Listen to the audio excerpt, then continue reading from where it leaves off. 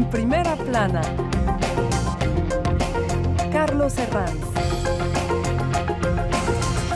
Bienvenidos en Primera Plana, un programa de Radio Francia Internacional y de France 24. Esta semana con el aniversario, el 40 aniversario de las emisiones de RFI en español para toda América Latina y por ello nos preguntamos en una edición especial qué importancia tiene un medio internacional en estos momentos, en los tiempos de los eh, de, gente como Elon Musk dominando Twitter o de la generación TikTok o del proyecto metaverso de Zuckerberg. Nos lo preguntamos con Mauricio Latorre, jefe del servicio en español de RFI. Bienvenido Mauricio. Gracias. Gracias, Carlos. Elda Tomasini, consultora en medios, especialista en nuevas tecnologías. Bienvenida, Elda. Muchas gracias. Y Francisco Alves, doctorando en la Universidad París 8 y profesor en la Universidad OR de Uruguay. Va a ser muy interesante para que nos explique también la historia y cómo han evolucionado los medios de comunicación. Bienvenido. Bueno, muchas gracias. La importancia y la evolución de los medios internacionales a partir del 40 aniversario de Radio Francia Internacional para toda América Latina. Hoy nuestro asunto en primera plana.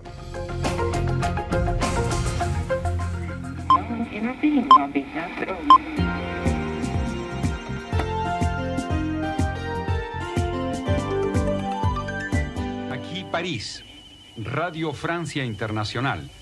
Van a escuchar ustedes nuestro programa para América Latina emitiendo diariamente desde las 22 hasta las 2 de la madrugada. Están escuchando una de las primeras emisiones de Refi fue bajo la presidencia de François Mitterrand allá por 1982 cuando RFI comenzó a emitir para toda América Latina, un momento en el que había muchas dictaduras aún en la región y de ahí la importancia de abrir una oferta independiente. Desde entonces han pasado 40 años cargados de cambios en el mundo de la comunicación. Hoy nos preguntamos por el sentido de un medio internacional en 2022, 40 años después.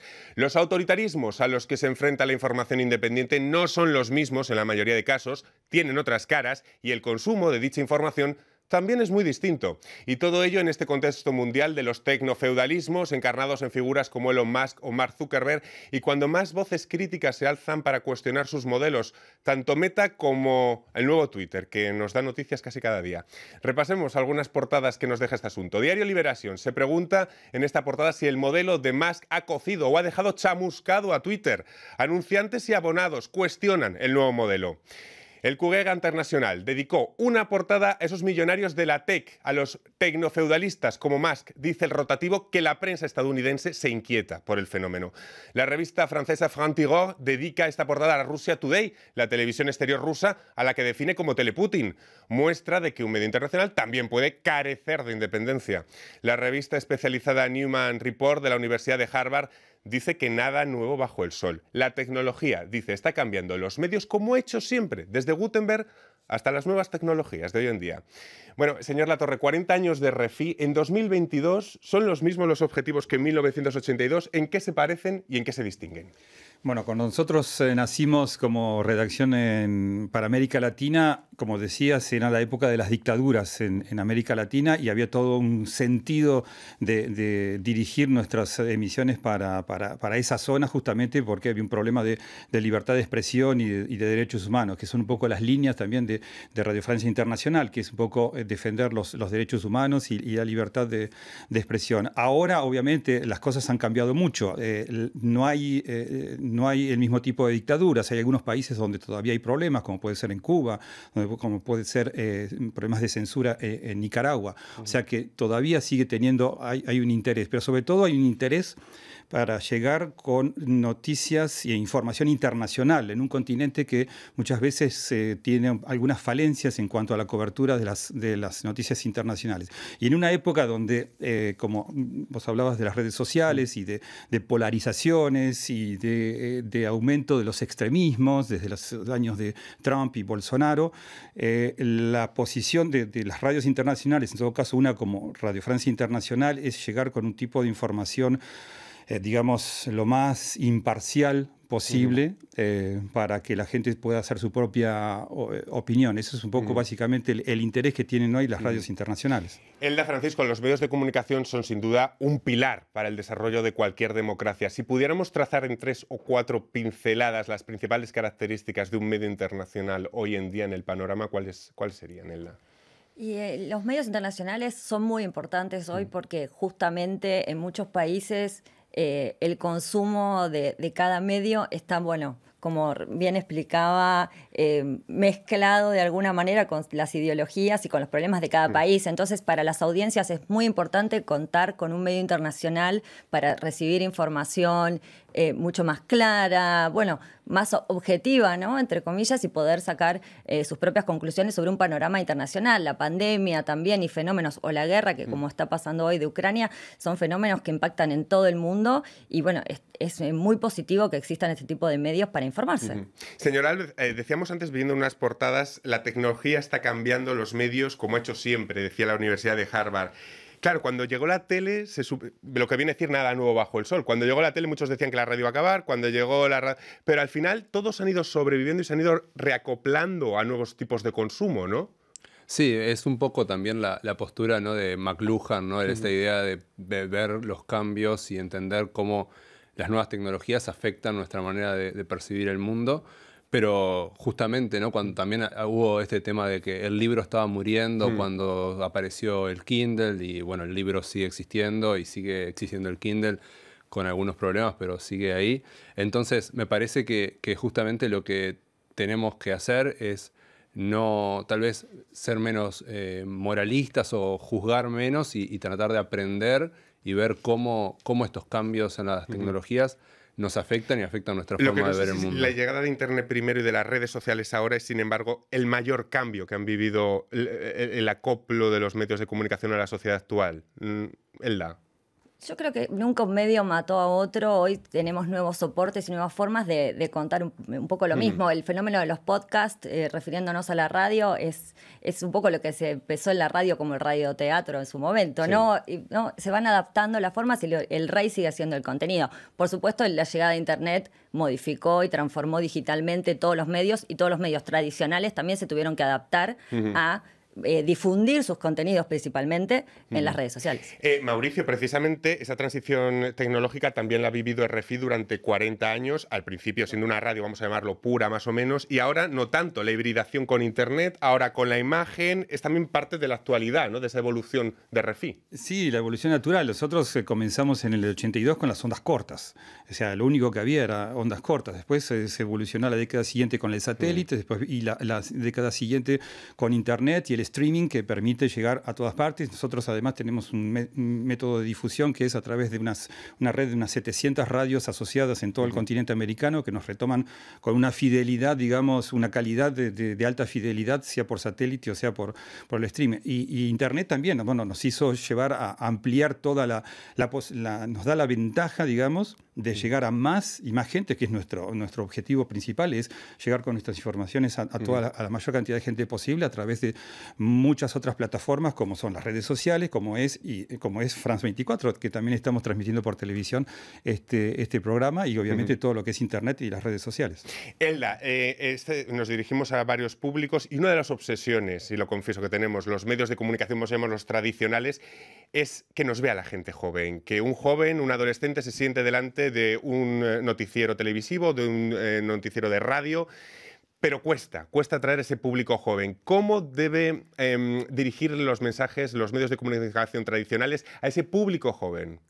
Bueno, lo principal es eh, pensar una estrategia digital diferencial para cada tipo de audiencia, ¿no? Que no quiere decir cambiar el contenido del programa, sino cómo nos acercamos con ese primer mensaje. Tenemos que tener en cuenta que el 90% de las, personas que consumen hoy medios eh, lo hacen a través del smartphone ¿no? El, 90% de las últimas, diferentes estudios, no voy a mencionar uno, pero en la mayoría eh, coinciden en que la gente eh, consume medios a través de las redes sociales o de lo que ve en su teléfono. Entonces, es muy importante cómo anunciamos eso. Por supuesto, contenidos de calidad, que sean didácticos, que sean atractivos, sin que pierdan calidad y rigor en la, en la información. Pero bueno, ese es el desafío del periodista que sigue teniendo y del comunicador y de los medios y los que hacemos esto, que, que bueno es encontrar el mensaje, ¿no? Encontrar el mensaje para cada audiencia. No es fácil, ¿eh? Claro, pero no sé, rejuvenecer la audiencia significa hacer menos ortodoxo, por ejemplo, un informativo, señora Alvez, o que baje en profundidad ese informativo porque estamos en la sociedad del clic, del consumo rápido, de las eh, nuevas tecnologías y las redes. Bueno, yo creo que en realidad lo que una de las también una de las eh, alternativas es incluir gente joven en los procesos y no solamente eh, como conductores o lo que sea, sino también eh, siendo los que escriben las informaciones, los que están en el proceso como productores, etcétera, que ayuda también a, poder crear contenido desde lo que a ellos les interesa. Entonces, no solamente es pensar en ellos como consumidores, sino también como productores de noticias y de contenidos. Eh, lo, que, está diciendo Francisco es súper interesante porque el ritmo de la edición, el ritmo de, cómo se consumen las noticias también es muy importante, ¿no? El ritmo de la atención que tienen los consumidores, porque todo va más rápido. Entonces, ahora tenemos que contar las noticias quizás de otra manera.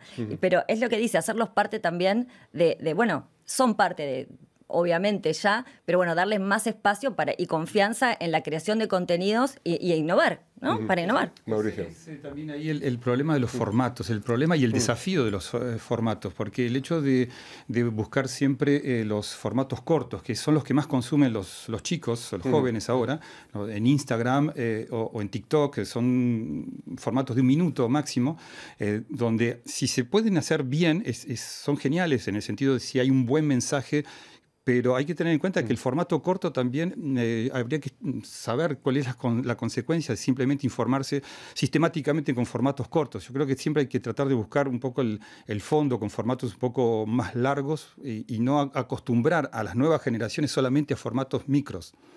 Igual hay algunas buenas experiencias que... Eh, de entrevistas en profundidad, como de, varios programas en la Argentina o de caja, bueno, de, varios formatos donde las entrevistas largas, por ahí de tres horas en YouTube, se consumen.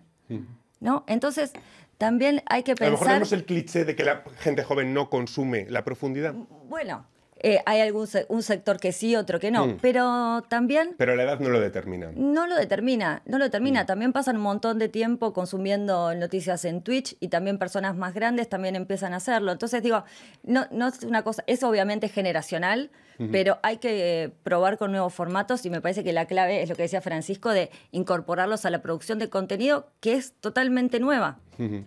En cualquier caso, la veracidad y el pluralismo es lo que deben diferenciar un medio de una red social, entendemos, ¿no, eh, señor Álvarez? Sí, estoy, de acuerdo con que lo, importante ahí es eh, incluir varias voces y mm. también en el sentido la importancia de un medio como este que es en español, de crear una comunidad de español, porque en realidad en cada país tenemos, bueno, eh, los medios argentinos tienen gente argentina, los medios eh, paraguayos son hechos por paraguayos, etc. Entonces es interesante un medio así que sea internacional porque también eh, crea como esta idea de comunidad de español, donde hay varias voces distintas, de distintos lados, distintos contextos, que hablan y que interactúan con sus Eso es lo que intentamos, por supuesto, cada día en RFIN. Me van a permitir una pequeña pausa y enseguida estamos de vuelta aquí en, en Primera Plana. Gracias.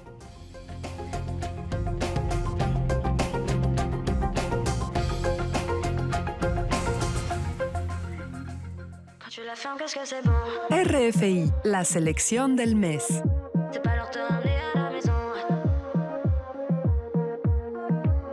Tu la sens, qu'est-ce que c'est bon, bon, bon. Whitney. Bon, bon, bon. C'est pas l'heure de te ramener à la maison. Sans, sans, sans, sans, sans, sans. Quand tu la sens, qu'est-ce que c'est bon? Quand tu me souris. Adé. Toucher ta bouche. Et je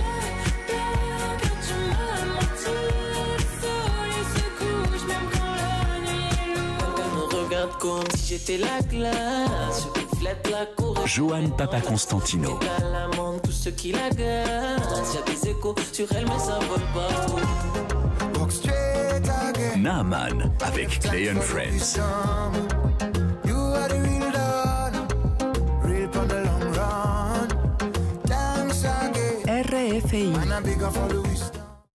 Seguimos en primera plana. Esta semana, a partir del 40 aniversario de las emisiones de RFI para toda América Latina, nos preguntamos la importancia de un medio de comunicación internacional en este mundo de la generación del TikTok y de los tecnofeudalistas como Elon Musk. Nos lo hacemos con Mauricio Latorre, jefe del Servicio en Español de RFI, Elda Tomasini, consultora en medios especialista en nuevas tecnologías, y Francisco Alves, doctorante en París 8 y profesor en la Universidad OR de Uruguay. Las redes sociales han modificado sin duda nuestra forma de consumir información, la generación propagación de fake news, pero también la inmediatez, el poder dar un giro de, también dar un grito de alarma ante una catástrofe. Es decir, entendemos que no se puede ser maniqueo a la hora de establecer un juicio de valor en cuanto a que una red social pueda ser de por sí positiva o negativa, ¿no? ¿Verdad? Eh, no, hay, bueno, hay diferentes visiones. Mm. Nosotros, bueno, conversamos acá de la importancia de la democracia, la libertad de expresión y en eso las redes han sido, las redes sociales Sí. son muy positivas. Ahora, veíamos justo lo que está pasando con Twitter, con Elon Musk, que hay cambios en la red, que, bueno, ¿quién puede de- decir yo soy un usuario verificado? Entonces lo que yo digo, bueno, tiene cierto trabajo y, y cierto chequeo de información. Bueno, es muy importante que ahora, y como siempre, los medios estén, y ahora le parece un signo de oficial, entonces sabemos que estamos consumiendo esa información y que pertenece a ese medio, pero bueno, también... eh, lo que pasa siempre en las redes sociales. Se generan eh, noticias falsas, se difunden muy rápidamente, pero bueno, siguen teniendo el impacto. No me, no me resisto a preguntarle por la actualidad, lógicamente por Elon Musk, porque en- tenemos con el nuevo modelo de Twitter casi actualidad cada día, ahora desbandada de trabajadores. Eh, ¿Cuál es la visión que tiene un tecnofeudalista, como lo llamó al principio, como Elon Musk, de algo como Twitter? Porque hay veces que nos despista a todos.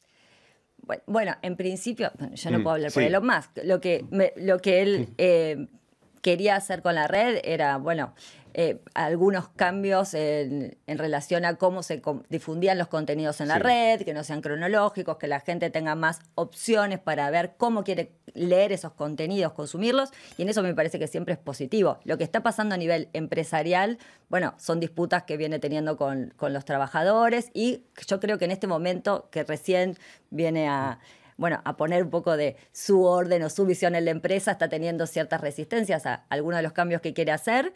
Y bueno, veremos qué pasa. Implementaron un cambio que era que cualquier usuario pagando eh, 8 dólares o, bueno, depende el país donde estaba, podía decir yo soy un usuario verificado, pero no funcionó porque un montón de personas decían ser alguien que no era y también se las verificaba. Entonces, bueno, viene por ahora prueba y error, veremos qué pasa. Es, eh, Parece que va dando, dando- va- dando va- bandazos, ¿no? va- va- va por ahí, pero veremos qué pasa. Veremos qué pasa. Bueno, y tiene mucho que ver con el poder de lo que estamos hablando. Em, las relaciones de los medios con el poder político siempre han sido, siempre han existido, en realidad. Eh, esta pregunta nos la han formulado un montón de veces, pero hay veces que la tenemos que responder porque eh, quizás es nuestro deber. Mauricio, ¿cómo es la relación entre France Media Money, con el grupo mediático exterior francés, y el poder político en Francia? Sí, efectivamente, es la gran eh, curiosidad visto que desde, siempre desde nos- América Latina, porque en América Latina en general se asocia lo que es un Sí. medio público con el, un medio de Estado. Es decir, el, el medio público, las radios nacionales, por ejemplo, eh, cambia de gobierno y cambia de dirección. Entonces, y responden a, a- a la- a lo que dice, a, a la, a la línea del nuevo gobierno. Aquí es completamente diferente. O sea, bueno, sí, en la, en la época de De Gaulle, eh, por supuesto, era, era lo mismo, pero después, desde los años 80 para acá, eh, hay una independencia total entre el, gobierno de turno y todo el polo público, no solamente nuestro grupo RFI, France 24, pero también la, radio y la televisión pública, tienen cada uno directores generales que, que son eh, designados por un ente autónomo que no depende del elicio. Entonces hay una separación total. Incluso hay muchos medios que son opositores, o sea, medios públicos. Si tomamos France Inter, por ejemplo, es, es la radio más escuchada a la mañana y tiene una, una, bueno, toda una sensibilidad de, de izquierda y son críticos del, del gobierno. Es- Em, bueno, suscriptores, diversificar publicidad, métodos de financiación. Los medios, sin duda, buscan su sostenibilidad en este panorama complejo que hoy estamos describiendo.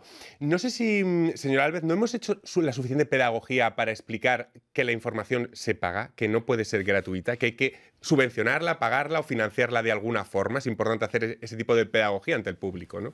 Es complicado porque, Hmm. por supuesto, que la gente está dispuesta a veces a pagar, eh, no sé, Netflix o cualquier cosa, pero un diario no. Y no una- ve, sí, el valor que tiene esto, ¿no? Eh, Es muy difícil, me parece, porque desde el principio se hizo mal, en el sentido de que es difícil que alguien que obtuvo algo gratis toda su vida de repente empiece a pagarlo, como lo que pasó con YouTube, ¿no? Que tiene, por ejemplo, no sé, leía como un- varios millones de, de suscriptos pagos premium, pero tiene billones de- de suscriptos que no pagan. Entonces hay una gran, un gran desbalance en ese sentido y creo que, que sí, que hay que hacerlo y también empezar a, que eso tenga una visión en, lo que se le paga a los periodistas también, no solamente eh, lo que se cobra para el exterior, sino también como que, que el periodismo sea un trabajo bien pago, bien remunerado, para que se puedan hacer trabajos de calidad y, y de, y con cierta profundidad.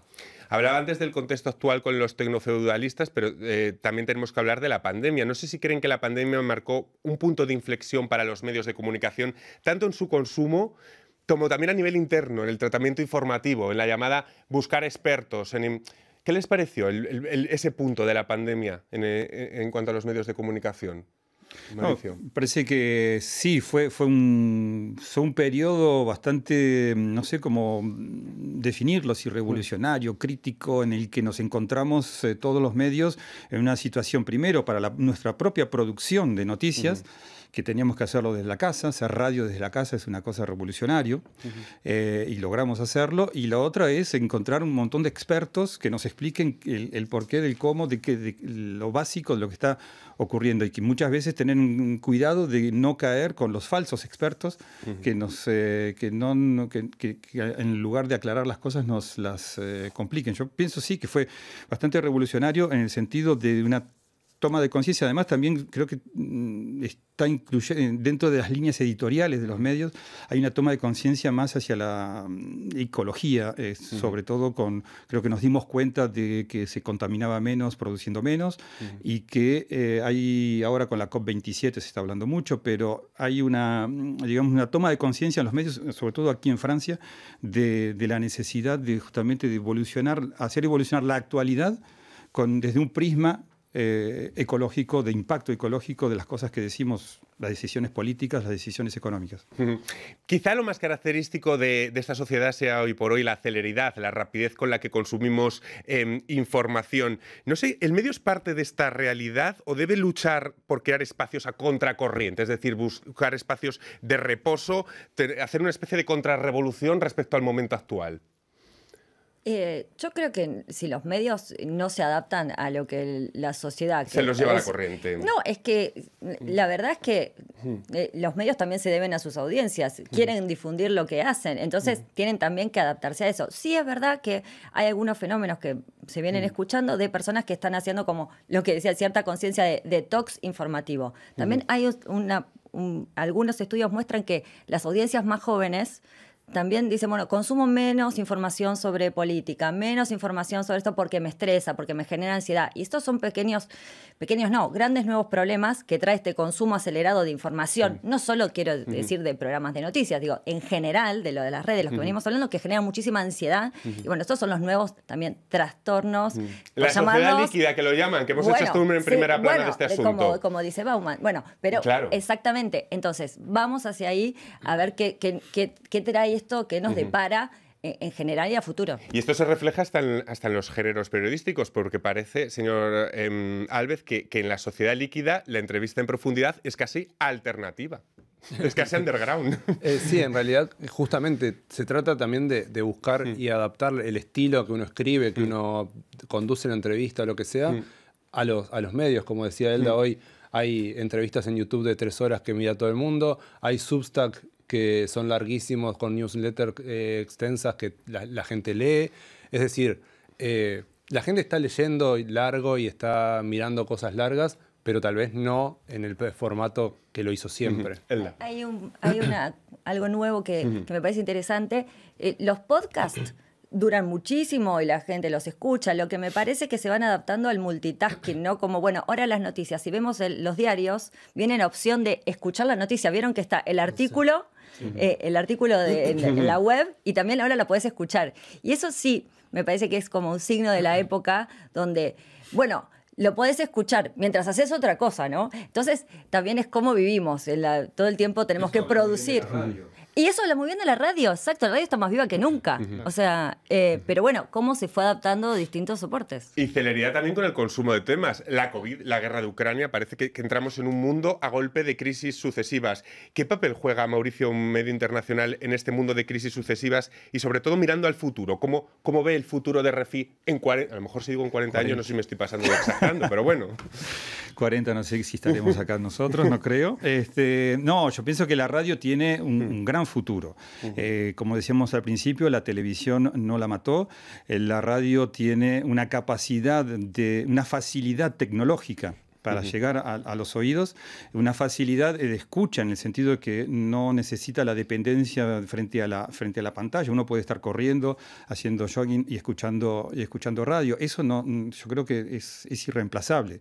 Y incluso en, materia tecnológica hay novedades que, están, que van a llegar, que son, por ejemplo, las ondas cortas, como las que nosotros habíamos empezado, pero están las ondas cortas digitales que van a volver, a, que van a volver y que son súper útiles porque la onda corta permite eh, atravesar fronteras es el efecto vintage, ¿no? En los, países donde no podemos llegar porque hay censura, mm. las ondas cortas digitales podrían otra vez relanzar, relanzar la, potencia de las radios. ¿De qué depende entonces, eh, em, Francisco, de que un medio mm, se proyecte en el futuro? ¿Dónde habría que buscar las claves para ser sostenible, para bueno, el, un cambio en el modelo de negocio es clave eh, por todo lo que venimos hablando. Francisco me va a opinar del tema, pero justamente las suscripciones fue siempre algo que siempre para mí existió. Digo, antes uno se suscribía, lo recibían en papel en su casa o ibas al kiosco y lo pagabas. Digo, la, gente digo, está acostumbrada para mí, yo en eso diciendo, a pagar por la información. Creo que lo que cambió es el método de cómo, de cómo lo tiene que pagar y como, bueno, lo que está en Internet no, es gratis, que no es lo mismo que el medio de comunicación comunicación. Lo que está en Internet es gratis, nos cuesta más. Pero los niveles en consumo de América Latina y de las principales economías del mundo, más o menos tienen los mismos niveles de, pago de, medios. Francisco, última frase, última idea ya. No, simplemente que, justamente pensando en esto, en, Uruguay yo, eh, colaboro con un diario que funciona prácticamente solo con suscripciones y ya tiene muchos años y, tiene una trayectoria en eso. Yo creo que, que, lo que hay que hacer es producir contenidos que llamen la atención, que, un, mm. un, diferencial que diga, bueno, compro esto porque esto me da mm. algo que no me dan los otros, o que no me da Twitter, o que no me da Internet mm. gratis, ¿no? Entonces tener algo que sea específico de un medio. Bueno, pues nos quedamos con esto. Hay esperanza, hay esperanza en el horizonte, en el horizonte de este 40 aniversario de RFI que hoy hemos celebrado a nuestra manera con esta emisión de En Primera Plana. Muchísimas gracias a los tres y a todos ustedes. Hasta la próxima semana. Muchas gracias.